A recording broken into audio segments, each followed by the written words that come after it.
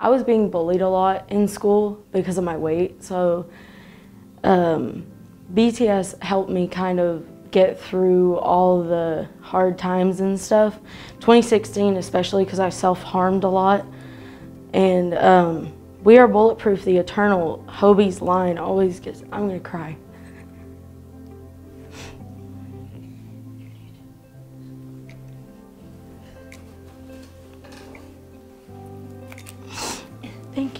Sorry. 우린 호기롭게 shout 던져봐 세상 거쳐 sound Don't wanna die but so much pain Too much crime 속 무뎌지는 칼라 So I kind of threw away everything I was like I'm done I can't do this like if I lose my life now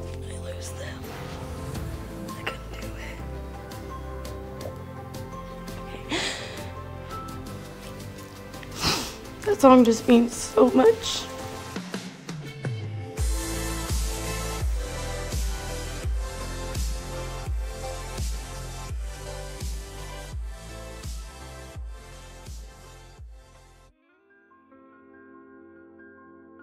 I started listening to K-pop in like 2010, 2011, so it was like Super Junior, 2NE1, that kind of era.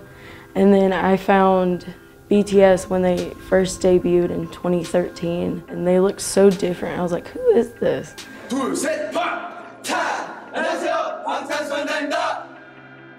I watched the Danger dance practice and I was immediately hooked because they were just amazing dancers. Like I had never seen anything like that before. I had a friend, uh, she was my roommate in college, we were driving around and she had been obsessed. I think that night before actually she had fallen into a rabbit hole and like started learning all of their names and it was over from there. And the next day she played um, Blood, Sweat and Tears in the car and I was like, okay, you know, this is a nice song. And the next song that comes up was Fire. And all I hear is Suga's voice when he says, and I was like, wait, wait, rewind that. 불타오르네. Uh, actually, it was Ashley, uh, my wife, who put, uh, she just put, I believe it was DNA music video, and she put that up on like the screens like right before class, and I was like, oh, okay, that's pretty cool. Once we started dating is where uh, we, is where I started learning more about BTS, and so started like develop like just thinking and like like listening to all their stuff over time. Eventually, my bias became uh, Jungkook, and then pretty much it kind of just went downhill. Not downhill, but it kind of just went upwards from there. My daughter had been a fan of BTS since 2015. She, being my daughter, got on my social media and followed all the BTS accounts. so I happened to be on my phone when the Dynamite comeback happened, and so I was like, okay, I'll watch this. And I loved it. Um, they did the Grand Central Station on performance, and uh, they were outstanding. And then the pandemic started um, three weeks later or something. So I thought, I want to see that video again, and I looked it up, and then clicked on something else, and clicked on something else, and then I watched their run episodes, which are pretty funny and uh, it just brought me uh, a lot of happiness, you know.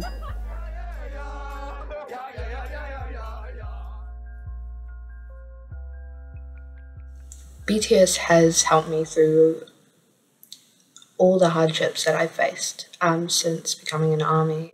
My home life is not great. it is not good. It's kind of like a back and forth, kind of toxic relationship back in like April, mostly like very late March, and even it got the worst on my birthday in, in May 4th, um, in which I literally lost my physical ability to actually talk. Um, even, even like I couldn't form sentences anymore. I could only speak with like maybe one or two, three words without having a complete mental breakdown. I was ready to be hospitalized and have someone watch me. That's how bad it got. I was in college and I didn't know what was wrong with me. And um, I had, you know, I had a lot of health issues. I was having a lot of doctor's visits and, and no one could really tell me what was going on. Basically what happens is the spine uh, produces fluid, like every, everyone's body produces fluid for the brain to, you know, work and function. Mine either overproduces or just doesn't drain properly. It causes a lot of vertigo. It causes a lot of um, like nausea and fatigue and uh, even looking at you now, like I'm seeing double. I lost my, I called him my papa, my grandfather. Um, it was April of last year. Then um, my grandmother passed away from COVID um, in August. Yeah, that was, that was hard. Um, they were married for like 62 years, so really hard. Actually, might need a tissue for this. I'm sorry.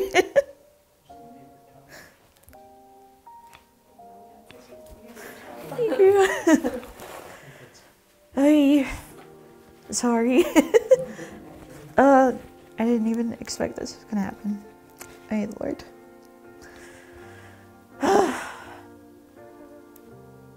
the song that actually I related most to them was actually Film Out. From all the memories stored in my heart, I gather up the ones of you, link them together,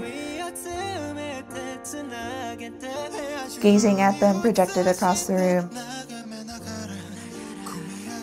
I feel you with every burst of pain.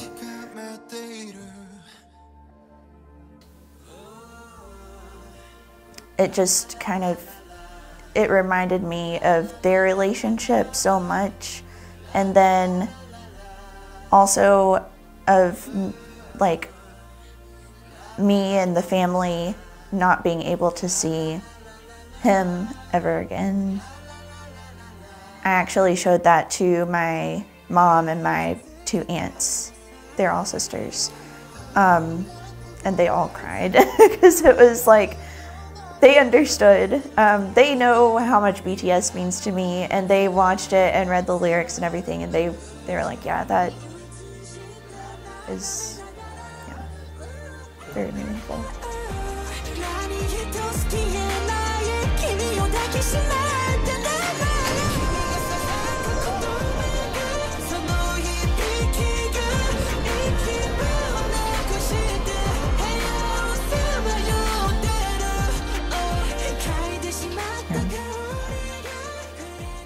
Was like pretty much encapsulates the grieving process, I guess. Um, and that kind of actually helped me um, a lot. I don't think I would have been able to get through all of that um, as well as I had without without them, at least. So, I don't know.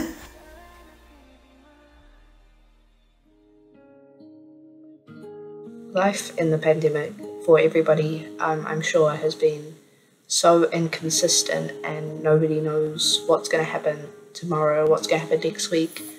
I was just having such a hard time handling my two youngest sons who were adopted and experienced trauma in their young life with and it affected their brain development. Quarantine, the COVID thing really affected them, really affected them. And it was just chaos from waking up in the morning until they went to bed. I have one son and uh, I live alone and so he got transferred during the pandemic. Um, so I was alone for a year and a half with the pandemic and it was, it was difficult times sometimes. Um, when COVID happened, I didn't really realize how depressed I had become because I couldn't go anywhere and I was used to long drives to Girl Scout events with my daughter in the car or um, just going out with my husband for a movie or dinner or whatever. And it was just kind of the day to day to day, just being at home kind of got to me. Uh, it really kind of threw everybody into a loop because we were so uncertain about whether we were actually going to get concerts back, if we were, if any of this was ever going to happen. And when they put out BE, it was like just a breath of fresh air in this world of us not knowing what was going to happen. She played Blue and Grey for me when BE came out, and I didn't had no idea what the song was about. She played it in the car, and I was so moved by the depth of emotion I heard in the, the performance that I said, okay, I've, I have to look this up.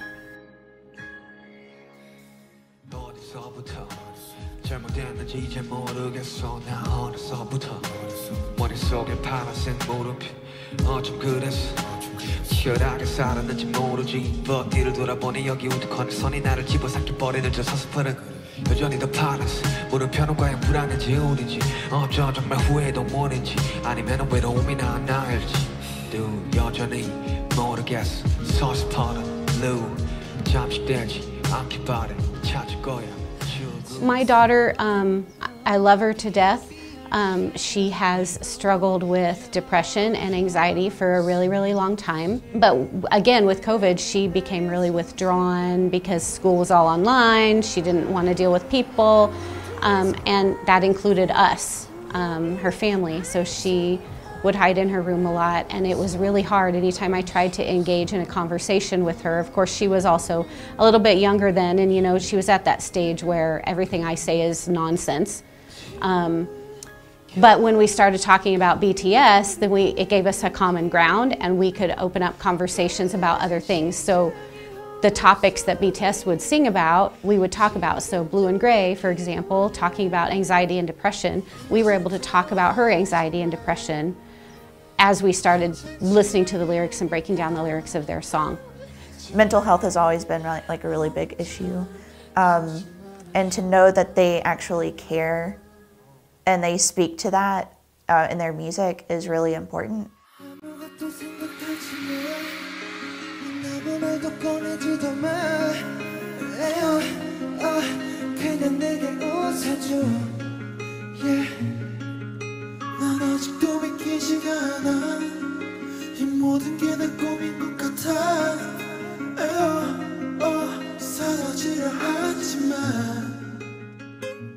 She, like I said, she struggles with depression, and so Butterfly was kind of the song that really made her feel like, hey, I, you know, this, I can get through this. And so Butterfly is kind of the song that we will listen to when we're kind of sad. Will you stay by my side? Will you promise me? If I touch you that you might fly away and you might be shattered. I think So, when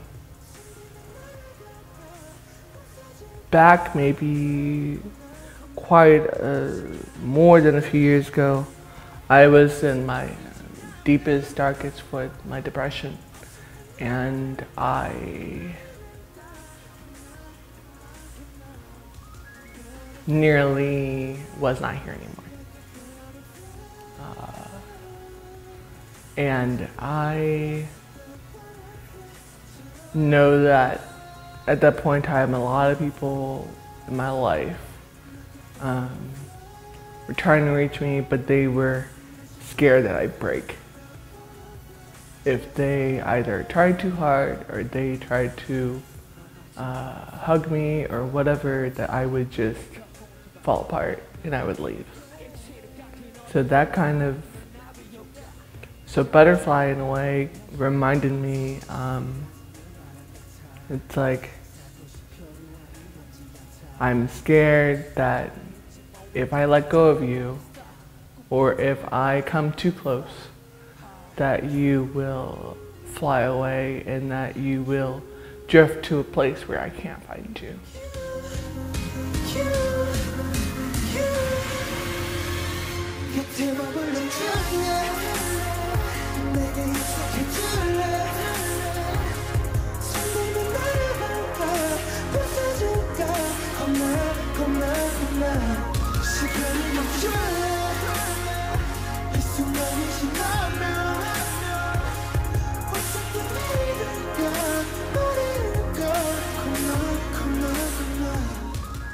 The only time in that moment of panic for that month and a half where I barely spoke, the only time I actually had uh, courage, confidence, and uh, that lighter feeling was when I was listening to their music. Even if it was just three minutes, four minutes, if someone were to come and ask me a question when I was like feeling more leveled because I was listening to them, I would, could actually form like more than just one or two words or nod my head. I watch a lot of reactors on YouTube, and they always they're always saying, you know, um, the old um, intro was big hit entertainment music for healing, and they're always always like, yeah, that's that's so true. Like you don't have to understand them to feel the emotions in their songs. You can just listen to them and just know how they feel in each song all the time. I just love music and how you can speak through it and just there's there's a lot of things that can transcend. And whenever I found BTS, it, it really does do that. And I, I'm sure you guys, I mean, at the concert, if you really can see the crowd and like all the ethnicities and people and all these different ages and everything and languages, and I think that's awesome. I just think their message is universal and music, of course. You don't have to understand opera to be moved by it. Well, it's in another language, but you certainly feel the music whether you know what they're saying or not.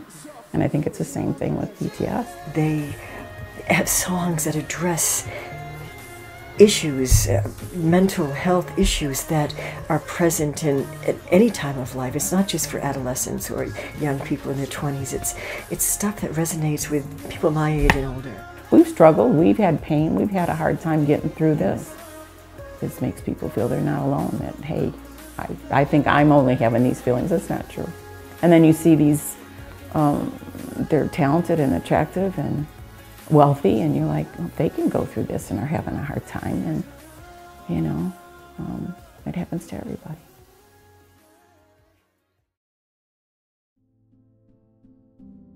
Life is different with BTS because, well, as I said, it's a neutral place for my daughter and I to kind of go, and it brings us together and brings us joy. It's a place where we can have joy together. Before those moments were few and far between. Now we have joy together a lot. It, it's just a nice, I don't know how to describe it, it's just a nice way for us to put aside all the day to day strife and the, the difficulties of being a mom and a daughter and enjoy something together. Because of the PCOS, because of the hypothyroid, because of stuff that's just going on in my, in my body, I just was bedridden a lot. A lot of, you know, days I was down, I would escape into BTS. BTS was like the light that came into my life. Every day I had something to look forward to. They had years and years of material and they just made me laugh. I belly laughed for the first time in years. I grew up with them, is what I always say. I'm doing a lot better now, actually. Um, I've grown uh, definitely a lot since high school. that was like six years ago. But my mental health is a lot better than it used to be. It's so much about, I guess, progression and seeing how they were at one point and then now seeing where they're at now and understanding that not like you can have the same trajectory, but you can have like progression and progress and things understanding that like like change will happen is like very okay to know and it's very okay to like not only experience that but to be open about it. Uh, their song pied piper. Uh, they pretty much um, tell you that you you know you know you love us but you need to get yourself together. And when i first heard that song uh, i i had taken a break from my program due for mental reasons.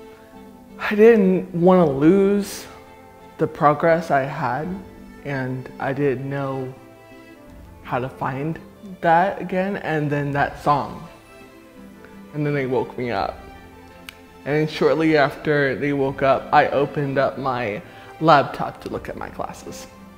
And now I literally, right before I came here on Friday, I just finished my clinicals on Thursday.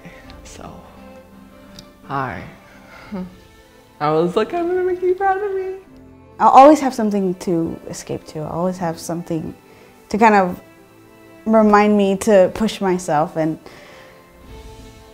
as far as just social activism as well, and just being kind and loving people, and I, I didn't really have much kindness before. And I think BTS has really helped me have compassion for other people and just, just you know, understand that other people are going through things too, and you kind of just want to be a light to their to their world in in any kind of way.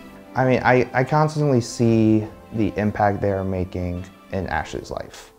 And for me, there's like a there's a sense of like appreciation knowing that like even though they don't know it, that they are helping someone that they don't know. I've come a long way in terms of being able to vocalize again um, since I had lost that. And thank you for giving me back my voice. Um, music, life, myself, things that um, no one else can give me. Uh, but your music found a way. Um, you know, I, I um, saw a picture of Jungkook uh, on the beach. It's his picture on Instagram. And uh, we were in California at the same time. And we have a picture of the same sunset. And I said, would I have gone up to Jungkook and what would I have said to him? Would I have fangirled, fan woman? um, or would I have just let him be and let him relax and meditate or whatever he was doing? And my son goes, no, you would just go up and say thank you. And that's what I would do. Makes me emotional. They always find a way to make me smile, right in every single emotion that I can possibly have. They have given back to me. So I just want to give to them as much as possible in any way I can. I, I, I can't explain in words how much I love them. Because I mean, they're my world. So I just want to thank them for everything they've given me and I really wouldn't be here without them, honestly.